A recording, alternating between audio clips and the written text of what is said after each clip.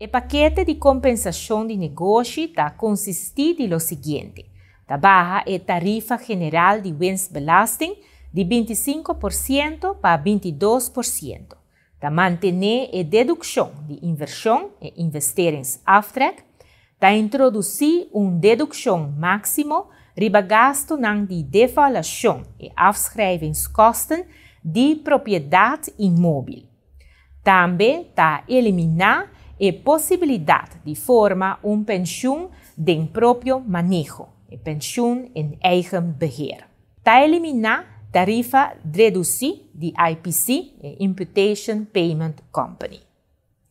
Para una repartición más justa y aumento de cumplimiento con el deber fiscal, para compliance, para a tasa de impuesto de toeristenheffing de 9,5% para 10,5%.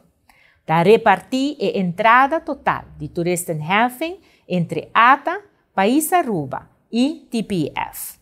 Da melhorar o cumprimento de imposto de acomodação alternativo, por exemplo, e Airbnb. Da cobra imposto riba traspasso de propriedade econômico imóvel e economische eigendomsoverdracht. Da cobra imposto riba traspasso de acciones de entidades com propriedade imóvel na Aruba e aandelenoverdracht.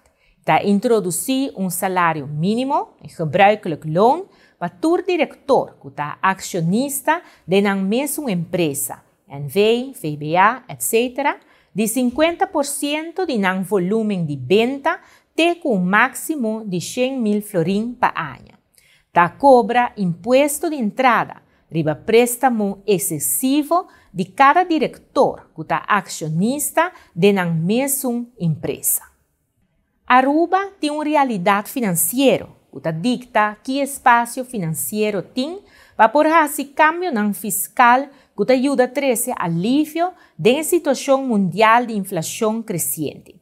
En el Plan de Impuesto 2023 está introducir un paquete de compensación para individual y negocio para por a mitigar el efecto de inflación. Nos tour tiene un deber que país Aruba y el Plan de Impuesto 2023 está un paso para junto nos tour paga menos.